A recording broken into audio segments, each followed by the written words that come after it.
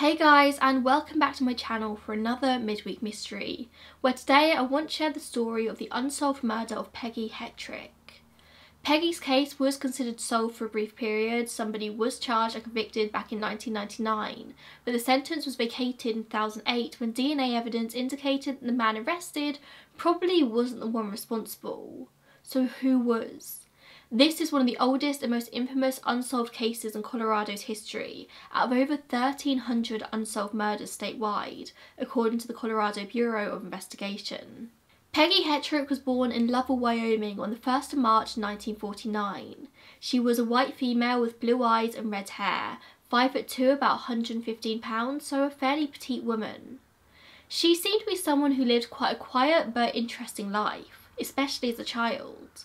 She lived for a number of years as a kid on an airbase on the Mediterranean coast of North Africa in Tripoli, Libya, because her dad worked for an oil company. This is where she graduated from Wheelus High School in 1967. Her classmates remember her as fun, vivacious and well liked. She was considered one of the popular girls, she was cool. From there, she went on to attend Arizona State University, then moved to Loveland, Colorado in the mid-70s where she cared for her mother who was terminally ill with cancer she soon died. And so in 1978, Peggy moved to Fort Collins in northern Colorado, where she worked as the accessories manager at a store called the Fashion Bar, which was a clothing store in the square, one of the main shopping destinations in Fort Collins at the time. She had an on-again, off-again boyfriend called Matt Zollner. She dated in between being on with him. Peggy loved to read, being a frequent visitor at a local library, and had dreams of one day writing her own novel. According to those who knew her, Peggy always had a smile on her face and she was just a really nice person. She didn't own a car and would often walk around alone at night but didn't think much of it as she lived in Fort Collins, which was a much smaller city back in the 80s as it is now. The 1990 census shows a population of about 87,000 compared to 170,000 in 2019. It was considered much safer back then. And it probably helped as well that Peggy was a pretty fearless woman, probably due to her childhood moving all around the world. She didn't care at all about walking on her own in the dark. Peggy would walk everywhere between her job and home, between her home and the neighbourhood bars, and it was likely that she was on one of these walks when she was attacked. She left work just after 9pm on Tuesday, February 10th, 1987, and walked home without incident, but upon arrival found herself locked out of her own apartment. She'd loaned her keys to a woman, a temporary roommate of sort called Sharon DeConnick, who was staying at the apartment with her whilst Peggy's usual roommate was out of town. It turns out that Sharon had gone to the bar that evening, downed several drinks, gone back to the apartment, crawled into bed, and was just out for the count. No matter how much Peggy tried to wake her up, she just couldn't. So for the next few hours, Peggy wanders between her local bars, first going to the Laughing Dog Saloon and then the Prime Minister Pub and Grill, which was her regular haunt. Every so often calling her apartment to see if she could get an answer, which she finally does around midnight. So Peggy heads home to change and then continues back to the bars for her night out. She goes back to the Prime Minister where she runs into that on-again, off-again boyfriend, Matt Zollner. He's there with another woman, but they seem to be on good terms, they hug and they have a catch-up. He even offered her a ride home at one point. At first she said no and then she eventually accepted. So Matt heads to the loo before they leave. But when he returns he sees her leaving alone about quarter past one in the morning on February 11th. That was the last time anyone confirmed seeing her alive. There are people who reported potentially seeing a woman of Peggy's description in the car park having a smoke around this time and there was a small pile of cigarettes matching her usual brand found there so that may have actually been her. It is worth noting there are a few different accounts of Peggy's movements on the night she died, but this is the timeline I could put together that seemed to make the most sense. Her body wouldn't be found for another six hours. About 7am, spotted by a cyclist called Linwood Hodgson. He was on his way to work when he cycled past an empty field in southern Fort Collins at the 3500 block of Landings Drive, less than 500 yards from the Prime Minister where she'd last been seen. As commonly happens, this man assumed that the pale white body was a mannequin at first, at least until he saw the blood poured along the curb and a trail of blood out into the field. There was a single half-smoked cigarette just lying in this pool of blood. The drag trail of the blood started at the curb and changed direction multiple times. The killer clearly tried to decide where best to dump her body. This cyclist didn't hesitate to cycle back to his friend's house from which he'd came to contact the authorities, who quickly descended down on the scene along with the local media. Bodies didn't often just turn up in Fort Collins, it was a safe place to live. You would never second guess walking around this area on your own until Peggy Hettrick. Peggy's body was found face up and partially dressed, her red hair fanned out in the dirt and her eyes open. Her shirt and jacket had been pushed up past her chest and her trousers had been pulled down, her handbag slung over her shoulder. From an initial look, it looked like her only injury was that her left nipple had been cut off incredibly neatly. The coroner said that procedures such as this would not have been difficult for someone like himself, someone medically trained, to complete, and it would have required less than a minute. There was also found to be damage to her genitals, which later confirmed to be something akin to female circumcision. One doctor later described it as a partial vulvectomy, a procedure that once again requires high skill and good quality surgical equipment to perform. Both cuts were definitely done after her death. Only upon moving her body did they discover the cause of her death though a single knife wound in her back near her left scapula. It was 35mm in length and 2mm in width. On the blunt edge of the knife wound there was a tear, indicating the knife used may have had an irregularity like a saw edge, or perhaps it was caused by a twisting motion from the killer. This knife wound penetrated Peggy's chest cavity and the left lung, the particular area in the left lung that houses all of the blood vessels. This would have very quickly caused massive blood loss as Peggy's chest cavity slowly filled with blood and it would have spilled out of the wound but a lot of it would have been absorbed by the coat she was wearing so it's unlikely that the killer would have been covered in blood as a result. She was stabbed with such force that the knife splintered one of the ribs on her left side and she lost so much blood that the coroner couldn't even perform a blood alcohol test but they did take some vitreous fluid from her eye and determined that she was indeed drunk, but just slightly above the legal limit to drive. She wasn't blackout drunk when she died. It was also noted that Peggy had several abrasions on her right cheek from her chin towards top of her head. There was also a small abrasion on her right ring finger, which the coroner determined happened before her death but these were not thought to be defensive wounds. It's likely that Peggy didn't know she was being attacked until it was too late. The time for death was simply said to be in the early morning hours of February 11th. They couldn't say anything more specific than that, but she would have died very quickly, within minutes of being stabbed due to the blood loss. It was soon clear that Peggy's murder wasn't a result of a robbery gone wrong. Her handbag still had all of her things inside, over 50 items in total. I don't know why, but that small fact just really hit me. I'm sure so many of you can relate to your bags just being overrun with items, all accumulated at the bottom. It's so easy to brush over the fact that these victims of crimes were once real, living, breathing human beings leading full, fulfilling lives. Peggy was a woman with a complicated love life, going out drinking after a long day at work. She was chronically broke. She chose to spend her money on her Christmas party over the Christmas season instead of saving it. And she had a handbag full of bits and bobs, as we all do. According to Denver Post, they found nail polish, lipstick, a Tide coupon, a pencil, checkbook, $2.47, three packs of cigarettes, a library book, receipts, a matchbook and her passport. It was through this passport they were later able to identify her. So not long after she was found, the police turned up at the apartment, which was less than a mile away. 26-year-old Sharon DeConnick answered the door and Sharon told the police what she could about Peggy. She said who she usually hung out with, her usual routine, specifically the men that she hung out with. Sharon was familiar with Matt, the on-again, off-again boyfriend, and another guy that Peggy had been periodically dating, but she also mentioned a man called Derek that Peggy had recently met at the Laughing Dog Saloon.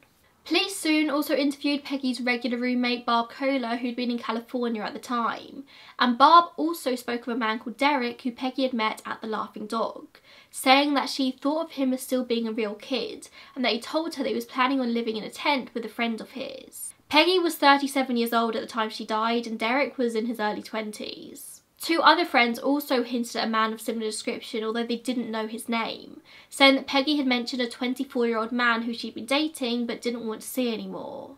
She said that he'd been calling her and even stopped by the apartment at the end of January, which is when she told him that she was ending things. Pretty much everyone said that she'd been expressing concern about somebody that she'd been recently dating. One of Peggy's good friends was a man called Timothy Matthews, who often stayed at her place after a night of drinking rather than going home. He was interviewed by investigators, as was pretty much everyone in Peggy's life, and he told them that one night he was staying at Peggy's when a young man he'd never met showed up at the door. She told Timothy to lock the door because she didn't want to have to talk to him. Descriptions of this man, Derek, were pretty consistent between those who had seen him. He was in his 20s, between 5'10 and 6 foot, with a heavy build. His hair was on the longer side for a man and was either blonde, reddish blonde, or brown, which is zero help whatsoever. Despite multiple interviews and surveillance operations at both the Laughing Dog and the Prime Minister, the police were never able to actually track down this man Derek and find his identity, so to this day, Derek remains a mystery. As the police continued investigating the case, it was concluded that Peggy's killer stabbed her as she walked along the road, most likely from behind, and then picked her up underneath the arms and walked backwards they dragged her into the field. This theory was based on the dirt caked in the gaps between the heel and the soles of Peggy's boots, which seemed unnatural to accumulate if somebody was walking forwards, and the furrows cut into the soil in the field. But marks from Peggy's shoes didn't seem to be the only ones found in that field. There were other prints likely from the killer.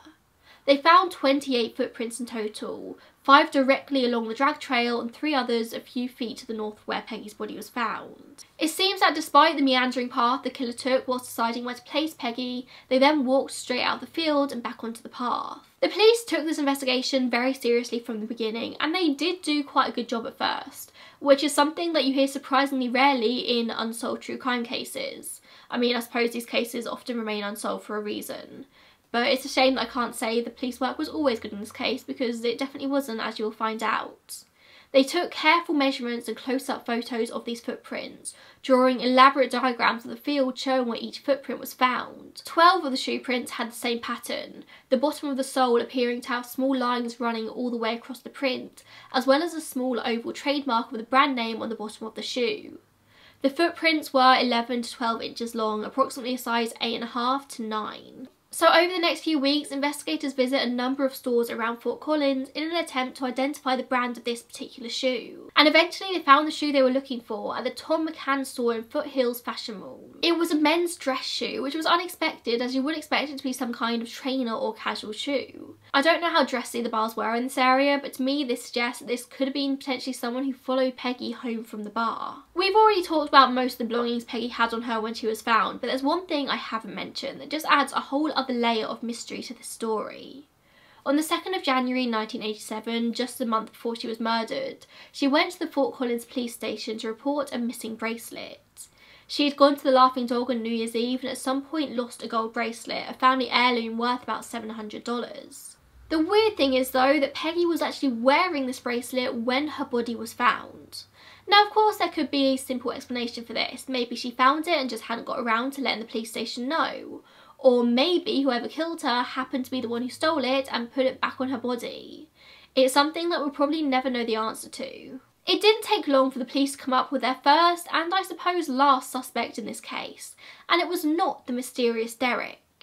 It was actually a 15 year old boy who was brought to the attention of the police by his own father. On the same morning Peggy was found, Clyde Masters told the investigators in the area that his 15-year-old son, Timothy Masters, had walked through the field where Peggy's body would soon be found about 6.55am that morning. Clyde said that he'd watched him walk along his usual route to the school bus where he suddenly veered west off the path, looking at something for a few seconds before going on to catch the bus. And this concerned the police. It concerned them that Tim had actually been the first one to see the body about five minutes before the cyclist and had failed to report it.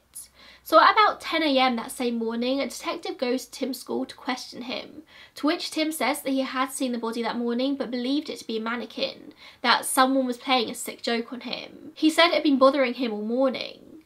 But because Tim failed to report this body straight away, he headed to the top of the investigation suspect list. One of the investigators on this case was Fort Collins detective Lieutenant James Broderick, who seemed to zone in on Masters very, very early on. Over the next few days, Tim would be interrogated by police for over 12 hours.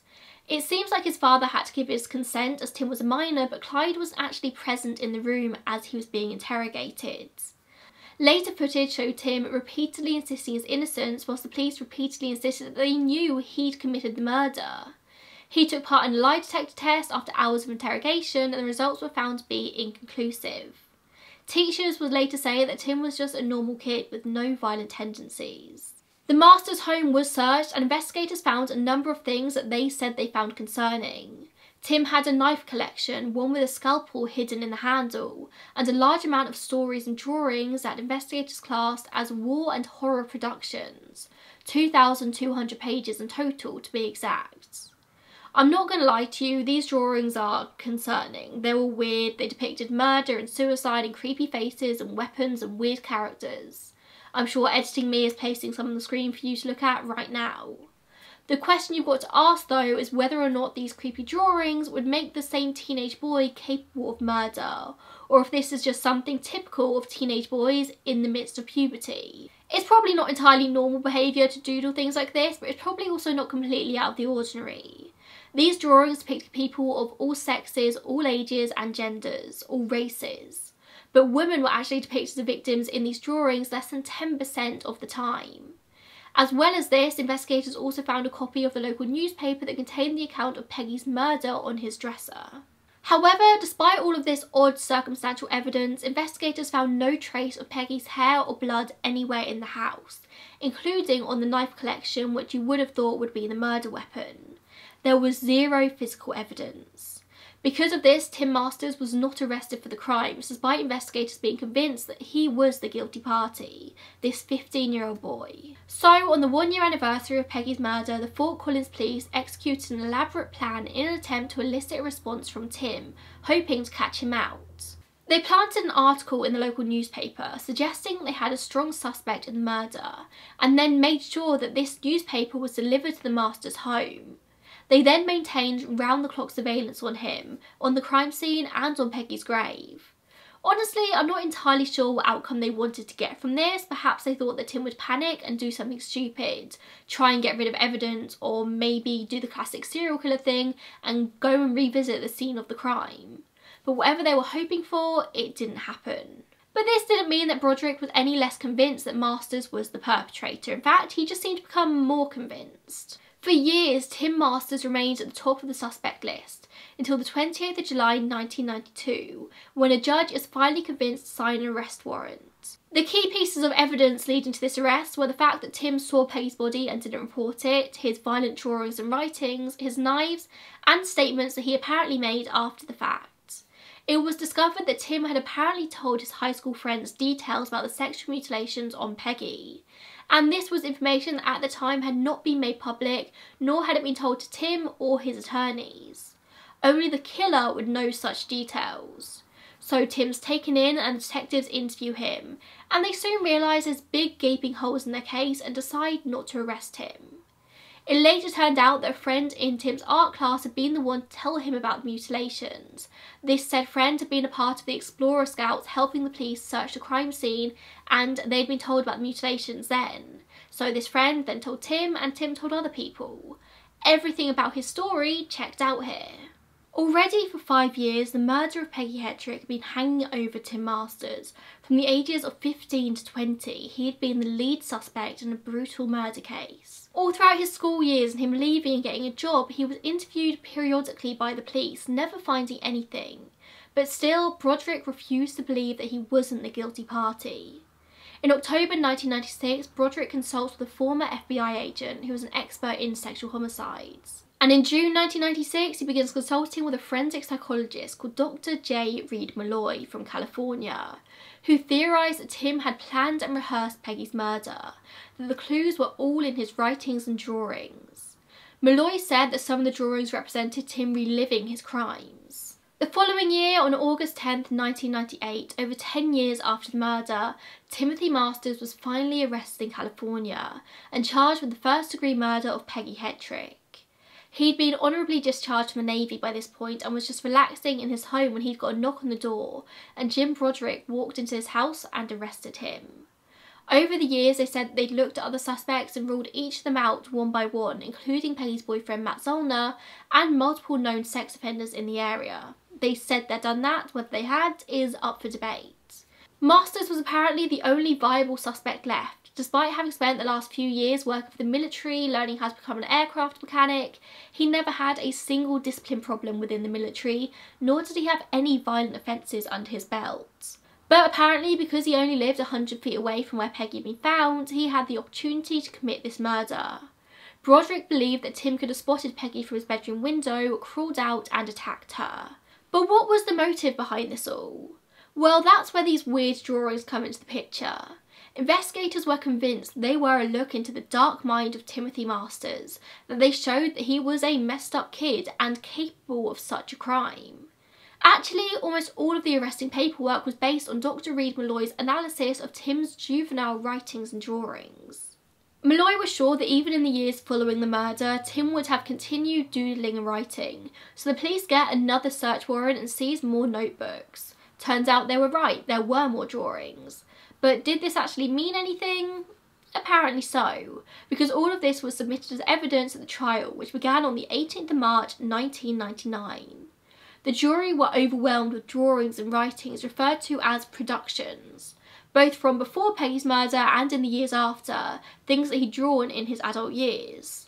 One of the drawings was interpreted by the prosecution as a knife cutting into a vagina, although Tim insisted that it was just a knife cutting into an object, it was never intended to be anything. Teachers at Tim's high school apparently stated that as many as four-fifths of their students drew violent drawings. It didn't necessarily have to mean anything. Dr. Meloy's theories surrounding this case were pretty much the prosecution's entire case at trial. He was the expert witness, and according to Dr. Meloy, Tim imagined himself as a warrior who killed many people without empathy or feeling. He had this theory of displaced matricide because Tim's mother had died four years before Peggy's murder, also on February 11th, when he was just 11 years old. In a nutshell, this theory goes that Tim was mad at his mother for dying, so to celebrate the death anniversary, he waited for a woman to walk past with red hair like his mother's and killed her. By doing so, he had symbolically killed his own mother. There was a big gaping hole in this theory though because his mother never had red hair, his mother's hair was brown. The state claimed that Tim purposely picked out Peggy Hettrick as his victim, that he left his bedroom that morning through the screen window and took with him his survival knife, his scalpel and his red covered flashlight. He surprised her and came up on her from behind and thrust the knife deep into her back. He lowered her to the curb, dragged her to the field and partially disrobed her and removed her nipple and vaginal skin. Footprints in the field showed that he stopped within six feet of Peggy on his way to the bus the next morning, apparently characteristic of murderers returning to the scene of the crime. The wounds were consistent with Tim's knives and they were sharp enough to perform such cuttings. The fact that he was an artist is apparently what allowed him to be so accurate in his cuts according to prosecution. The bloodstains in the area were found to be consistent with the police's theory here. In the end, Tim was convicted and sentenced to life in prison for the murder, despite some jurors having doubts about his guilt. The case of Peggy Hettrick was now solved. People could now sleep well again in Fort Collins, but many people still had their doubts, including people in the police force, it seems. Many people were aware of Broderick's one-track mind with this case. Most people didn't believe it would be possible that such a young boy could have pulled off such a sophisticated killing, especially such a fetish-based killing. This murder was sexually motivated, there's no two ways about that. By the end of the 90s, DNA analysis had made leaps and bounds, but of course it was nowhere near as sophisticated as it is nowadays. But it was certainly a lot better than it was back in the late 80s when Peggy was killed. They had the means at this time in 1999 to test DNA and find skin cells and particles on crime scene specimens. It was something that was regularly done at this time. The police had Peggy's clothes from the murder. They had her black coat, her shoes, her blouse, panties, socks and jeans, but it was never tested. The prosecution focused all of their energy on the psychological analysis of Tim and his drawings rather than the physical evidence that may have been available to them at the time. But let's go back a little bit and look at 1992. A woman called Linda Wheeler had been working as a detective on this case since the beginning and in 92 was appointed lead investigator on the case. Back in 1987, she'd been convinced other suspects should be a major focus here, that they shouldn't just be focusing on Masters. She believed an FBI profile of the killer should be developed, but her supervisors wouldn't allow it. When Broderick at one point told her that Masters had been on the verge of cracking during interrogation, she watched back seven whole hours of tape. She said that she just didn't see any deceptive behaviour. She has said of Broderick, he was fixated, just fixated on masters. He was fitting facts to the hypothesis. That's not how it's supposed to work. She said as time went on, she became less and less comfortable with the idea of Masters as the main suspect here, and she told the district attorney of her concerns, but it seems they didn't pay much attention. By 1995, she'd left to become an agent with the CBI, and Masters went on to be arrested and convicted. the CBI being the Colorado Bureau of Investigation. So almost immediately after his conviction, Tim Masters made an appeal to the Colorado Court of Appeals on the grounds that his drawings were inadmissible under the rules of the court, as was some of the testimony at trial, including that of Dr. Meloy. The court unanimously upheld his conviction though in February 2001. In 2002, the Colorado Supreme Court granted review to determine whether evidence eliciting Tim's supposed violent nature was improperly admitted. They found that yes, some of the evidence presented at trial should have been suppressed, but the court determined this error was harmless and just affirmed the previous findings. So once again, the guilty verdict was just upheld 4 to 3, with four justices saying that the trial proceedings followed the rules, whilst three of them called the trial grossly unfair. That's very close. One justice even wrote in the dissent, most of these writings and drawings have nothing to do with this grisly murder.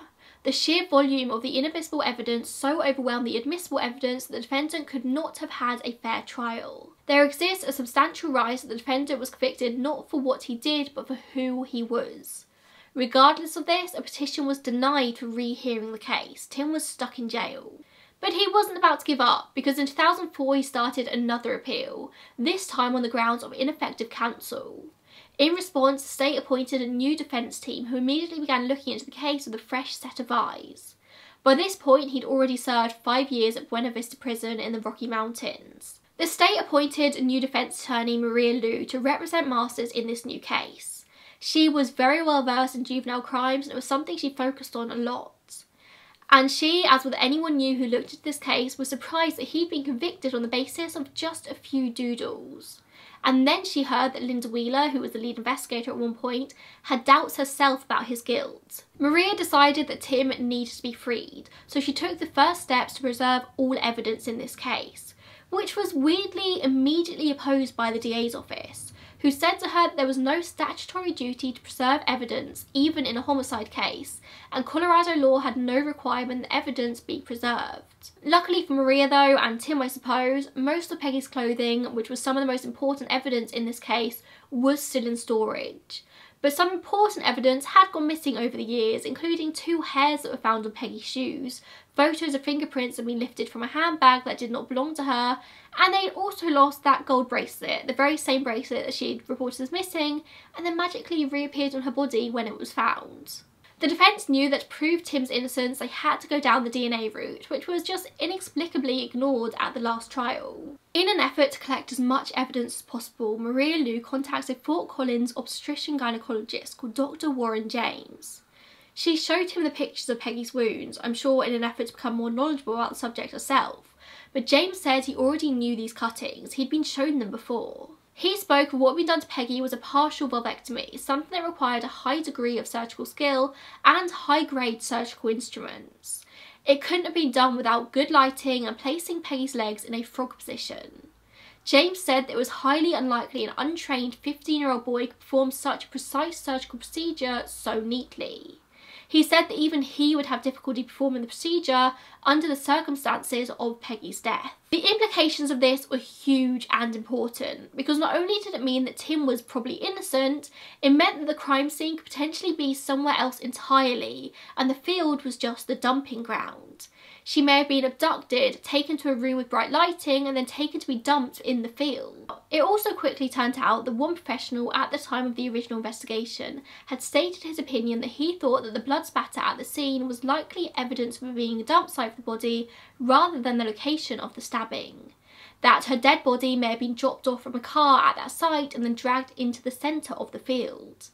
Even in the original police reports, medical examiner called the wounds surgical. And something else that neglected to be mentioned in the original trial is that some of the autopsy photos revealed that Peggy's body seemed to have been washed after death, with evidence of sponge lines. And another important piece of evidence potentially showing Tim's innocence is that he weighed less than Peggy. He was a 110 pound teenage boy he probably would not have been able to drag Peggy's body across the field, at least not by himself. So the defence began the process of getting things ready for DNA testing, which isn't quite as easy as just picking up the evidence and sending it to a lab for testing. There's a lot of protocol behind it.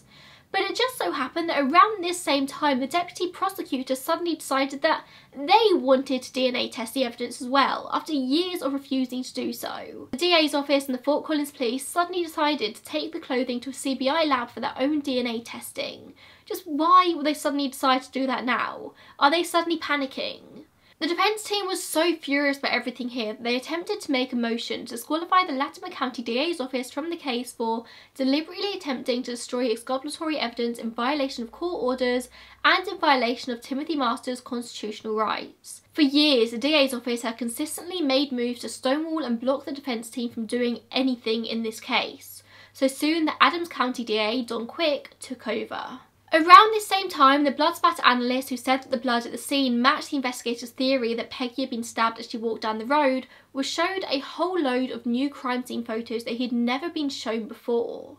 It changed his entire opinion on this case. His original conclusion had been manufactured by the investigators on this case. He was shown only carefully selected pieces of evidence to support their fabrication that Tim Masters was responsible here. With all this new information supplied to him in 2007, he announced an entirely different opinion that the best explanation was that Peggy was attacked in another location and then transported to the field, ruling out Tim Masters as the culprit. He was 15, he didn't have a car. It's thought that a similar thing happened with Dr. Meloy as well, that the investigators carefully selected a discrete set of evidence to share with him in order to manipulate him into concluding that Tim Masters was guilty. Investigators repeatedly informed him that he was being provided with all the relevant documents, but they didn't, they didn't give it all to him.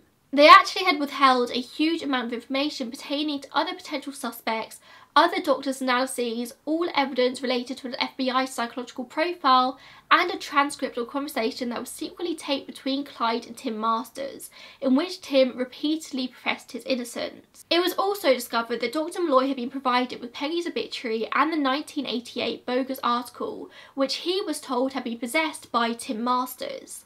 But it turns out that both these items had been planted in his room by the Fort Collins PD. And it turns out the shoe print evidence of the Thom McAn brand shoe prints found at the scene were covered up and lied about at the original trial because these particular shoe prints could not have belonged to Tim Masters. Only one of the 28 shoe prints found in the field was proved to match the tennis shoes Tim was wearing that day. And it makes sense that his prints would have been in the field because we all know that he definitely walked through there every day to get to the school bus. The defence team got to work with trying to extract some DNA from the remaining evidence, whatever hadn't already been destroyed by the Colorado Bureau of Investigation or the Fort Collins Police. Whilst DNA not belonging to Peggy was found on the clothes, none of it was found to belong to Tim. But in the interior lining of Peggy's pants, as in knickers, not trousers, they found a full genetic profile belonging to an unknown man. It was exactly where the defence team predicted the killer's fingers would have curled to pull the pants down. And as well as having no skin cell DNA that matched him, the fingerprints found in Peggy's bag and the hairs found on her clothing also did not belong to him. But of course, FCPD lost those fingerprints and hairs, making it impossible to compare them to other suspects. On the 23rd of August 2007, Judge Joseph Weatherby begins a series of hearings in the fight for a new trial. This was at the same time the defence team were extracting all of this DNA. There was also DNA found, of course, that belonged to her on-again, off-again boyfriend, Matt Zollner. And all of this was confirmed by the Colorado Bureau of Investigation. Just four days later, Weatherby signs an order to free Tim Masters on bail to be released immediately and then proceedings started to decide whether to retry him or simply drop all charges.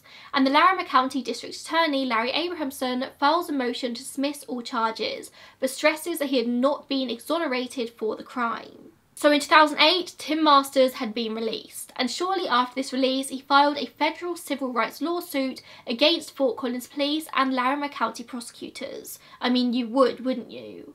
It was filed against prosecutors Terry Gilmore and Jolene Blair, detectives James Broderick and Marsha Reed, and the chief of the FCPD, Dennis Harrison, and others, alleging violations of Tim's civil rights. I'm going to leave a PDF in the description box of the official complaint file. It's literally 82 pages detailing everything that went wrong with this case. I've already covered a significant amount of it throughout this video, but just to share part of the complaint verbatim with you. It reads, the defendant systematically fabricated probable cause to arrest Mr Masters for the murder of Peggy Hettrick. To do so, each defendant in various ways had to conspire, encourage, allow acquiescing, supervise and or participate in one or more of the following. 1. The calculated suppression and destruction of massive amounts of clearly exculpatory evidence. 2. The manufacturing and orchestration of significant and obviously false inculpatory evidence. Three, the perpetual lying to and misleading of experts, judges, defence counsel, and Mr. Masters. And four, a long term and wide reaching conspiracy to ensure that Tim Masters was arrested, tried, and convicted for the murder of Miss Hettrick, in despite of the great and obvious weight of evidence supporting his innocence. The document speaks about how even when Tim's defence counsel began to uncover all this, the FCPD and 8th Judicial District went to great lengths to protect their reputations, even though such protections meant the continued jailing of an apparent innocent man. I would highly recommend going to read the document if you've got time, it's very eye-opening. Eventually, in February 2010, Larimer County agreed to pay Tim $4.1 million to settle the lawsuit. In June of the same year, the city of Fort Collins agreed to pay 5.9 million. Does $10 million make up for 10 years of your life lost to prison? Probably not. But something that might make up for it is somebody else actually paying for what they did. In June 2010, a grand jury indicted James Broderick on eight counts of perjury, accusing him of repeatedly lying in affidavits and in court. Great news. But then in May 2011, a judge dismissed all of the charges, citing the statute of limitations. So he never paid. Finally, on June 28, 2011, the Colorado Attorney General stated that Tim Masters was no longer a suspect in Peggy Hettrick's murder and had officially been exonerated. He said, Pursuant to the mandate from the Governor's office, our team undertook a comprehensive review of the entire Hettrick homicide. Our team conducted more than 170 interviews and conducted further DNA analysis. Throughout the past year, the statewide grand jury heard evidence and testimony from numerous witnesses. Based on the testimony, the forensic analysis and the crime scene analysis, the overwhelming conclusion is that Timothy Masters was not involved in the murder of Peggy Hettrick. He went on to say that Tim cooperated fully with the investigation and that Peggy's case remained open. They'd made significant progress in the investigation apparently. And then, exactly a month after this, Broderick was re-indicted on nine counts of perjury, facing up to six years in prison if each of those counts was convicted. Those charges were also soon dismissed. There was an internal investigation at the FCPD, at least looking into how he handled this investigation, but that was suspended after Broderick resigned in 2013. All charges against him were finally dismissed in 2013, so there's been no payback here, nothing. This guy has never paid. With all of this going on, it's easy to forget the true and original victim of this case was poor Peggy Hettrick. Her case is still open and it doesn't seem like anyone is any closer to solving it. Perhaps if they'd actually investigated properly at the start and not just focused all of their resources on Tim, they might have got an answer. And you're probably thinking the obvious, that Matt Zollner, the on-again, off-again boyfriend, is the obvious suspect. Of course this has been looked into, his DNA was found on Peggy's clothing, but that doesn't particularly mean much in this case because if they were in a relationship and they had seen each other on the night in question, it would be expected that his DNA would be found on her clothes, especially considering that multiple witnesses said they saw them hug and kiss at the bar that night. He was initially considered a suspect but was quickly ruled out. The girlfriend he was with that night gave him an alibi saying that she stayed with him at least 3am, probably 3.30am and the likelihood is that Peggy was already dead by that point. Experts estimate that she died shortly after leaving the pub, so probably around half one, two o'clock. Although there is evidence to suggest Peggy was upset with Matt for being out with another woman that night and they may have had a fight, this doesn't necessarily mean that he killed her. I could be totally wrong of course, but my gut just tells me that Matt probably didn't have anything to do with this, but you can make your own decision there. But there does seem to be a suspect that fits much better than both Matt and Tim. A man called Dr. Richard Hammond, a prominent eye surgeon in the area who lived about 250 yards east of where Peggy's body had been found about the same distance away than the master's house was. In 1995, a college student was house sitting for him and his family whilst they were on holiday when she heard a strange noise coming from the basement bathroom. It was a techie electrical kind of sound. She followed the strange noise to a vent by the toilet and looked inside and found a camera lens. She had a look around and found a huge amount of pornography, close-ups of women sitting on the toilet and their genitalia, including his own family members. The police were obviously alerted and soon raided the house, confiscating everything. They found other cameras in the same bathroom and another in the spare bedroom. They found lists cataloguing the hundreds of tapes, including the names and ages of the victims, the number of times each had been taped, and notes concerning the details of their genitals. When Hammond returned from his holiday with the family, he was arrested in sexual exploitation charges and his family were shocked. This was a polite and professional man, the father of two teenage children who I think were girls, and he was a great surgeon. According to several FCPD detectives who were at the Hammond crime scene, he was immediately discussed as a possible suspect in Peggy's murder. It was so close to the spot where she'd been found, you could see it from the upstairs main bedroom window. He also had a very obvious obsession with female genitalia and had surgical abilities. Upon arrest, he was taken immediately to a hospital and didn't spend any time in jail.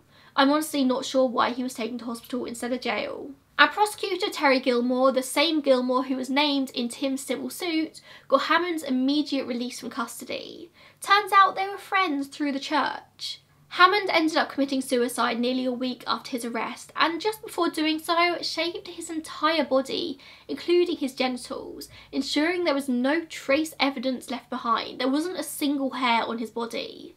Why would he do this? In February 1987, shortly after Peggy's murder, the Behavioural Science Unit of the FBI told the FCPD that the culprit in her murder was likely a voyeur. There's no denying that's what Hammond was. In fact, according to psychological records, he had been an admitted and diagnosed sexual voyeur since he was a teenager. So the police are looking for a voyeur in Peggy's murder, and one lives 250 yards away, but instead they look to the weedy teenage boy with no criminal or sexual history. According to a police report of an incident on February 24, 1987, shortly after the Hettrick murder, a man closely resembling Dr. Hammond made stabbing motions with an icicle at a female employee of the Prime Minister, the bar at which Peggy was last seen. The employee, like Peggy, was red-haired. The perpetrator closely resembled Dr. Hammond in physical build, stature and age. And then another police report dated 17th of April 1987, a man closely resembling Dr. Hammond exposed his genitals and had a partial erection whilst walking by the location of Peggy's crime scene. A female witness of this later told an investigator that a mugshot of Dr. Hammond looked just like the perpetrator of this. And it later turned out that Hammond had taken the day off work on February 11, 1987, when Peggy's body was clearly visible from his upstairs window, the same day she died. Tim Masters had gone to school as usual that day, and Dr. Hammond had access to a car. Tim Masters did not. I'm not saying here for sure that Richard Hammond committed Peggy's murder, but I'm saying there's a hell of a lot more circumstantial evidence here to point towards it being him rather than the incredibly loose evidence some disturbing doodles they used to convict Tim Masters. Strangely, everyone involved in this case refused to ever consider Hammond a suspect. Now, we've already covered that prosecutor Terry Gilmore had a personal connection with Hammond, and therefore he had a significant conflict of interest. But interestingly, Gilmore actually sought to obtain a court order, which authorised having the physical evidence in the Hammond case burnt in a 55 gallon drum only a few months after his death because according to him, it no longer had any evidentiary value. By this point, the FCPD had barely been able to scratch the surface of the home tapes he had made. Could there have potentially been something in there that connected him to the death of Peggy Hettrick? Apparently a lot of FCPD detectives were shocked when they learned that the Hammond evidence had been destroyed so quickly, where typically evidence was kept in storage for several years.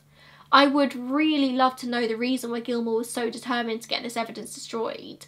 Did he know something? Was he trying to protect someone? Or did he and others have personal vendetta against the Masters family? Let's move on to another possible suspect here in the form of Donald Long, an admitted murderer in the area. Within a nine month period in 1987, three women in their 30s were fatally stabbed in the back in the Fort Collins Greeley area. Peggy, Linda Holt, and Mona Hughes. Weirdly, all of their surnames began with an H. 39 year old Linda Holt was an accountant who disappeared from her office on the 18th of March 1987. Her body was found a week later, stabbed numerous times and propped against a tree at Black Hollow Reservoir in Weld County. 20 year old Mona Hugh picked up a hitchhiker after she got off work on the 7th of November 1987. This hitchhiker just happened to be Donald Long. Her body was found three weeks later in a storage shed northeast of Greeley. She had been stabbed 14 times and had been robbed of $130. Donald Long admitted to the murders of Linda and Mona, and in 1987 a report was drafted that potentially linked him to Peggy's murder as well. He was listed as one of 94 potential suspects in her case. However, no one ever posed a single question to Long regarding his possible involvement in Peggy's murder, and he obviously never confessed to it. Linda Wheelus, who eventually took the lead in Peggy's case, like I said, asked her supervisor if she could investigate Donald Long in relation to Peggy's murder and was simply told that he'd been eliminated as a suspect. She wasn't allowed to talk to him. And then again in 1993, Gilmore authorised the release and destruction of all evidence in the Donald Long case. And I couldn't find any super recent details about Long's connection to the case, but an article from the Greeley Tribune in 2008 stated that Linda Wheelus wouldn't rule out checking DNA samples against those found on Peggy. 12 years later though, and there doesn't seem to be any new updates in regards to this. If Long was guilty of Peggy's murder, she would have been his first victim, although the obvious hole in this theory is that he lacked the surgical skill to take off her nipple and her genitals, and showed no further need to dismember any of his other victims' genitalia. He took two guilty pleas and received two life sentences plus 100 years. He's not eligible for parole until the 11th of July 2113. And the final potential suspect here is a man called Scott Kimball, a convicted serial killer from Boulder County, Colorado. He is currently serving a 70 year sentence after being found guilty of the murders of four people Casey McLeod, Jennifer McComb, Leanne Emery, and his own uncle, Terry Kimball. He killed all four victims whilst he was on supervised release from prison after a prior check fraud conviction. He had actually been released as an FBI informant and he began killing pretty soon after this. He has bragged about killing many, many more people, which are all unconfirmed. Federal investigators spent a lot of time trying to determine if he did start killing earlier and whether or not he could have been responsible for Peggy's murder, but there doesn't really seem to be much there. The main connection here comes from the fact that he was also the prime suspect in the murder of a woman called Katrina Powell from October 2004, who was beaten, strangled and mutilated. Katrina's murderer severed her hands and she was savagely beaten, which is very different from Peggy's single stab wound. But there was one huge similarity. Katrina's murderer sliced off one of her nipples and cut tissue in her groin and in 1987 Kimball is proven to have spent time in Fort Collins, although his whereabouts on the exact day Peggy was killed remains a mystery. He was known to hang out around the area that Peggy was found as well. In August 1987 he was ticketed on a harassment charge just half a mile down the road. It's often theorised that he too was obsessed with female genitalia and he's often bragged about his murders, so maybe it was him. But Peggy's case remains cold. It seems that investigations are still ongoing, but realistically, this many years after her death, it's going to get harder and harder to solve. I hope now that investigators are actually working on solving the case rather than railroading somebody into prison, that they might actually find something. Broderick seemed to have a complete tunnel vision with this case. He wanted Masters to be guilty and so he was. Peggy never really seemed to be the focal point here, which is a tragedy all in itself. I have a feeling this video has been really long. I've been talking for literally hours. So if you've made it to this point, thank you so much for watching. Make sure you click that subscribe button if you like what I'm doing over here and I'll see you in the next one. Bye guys.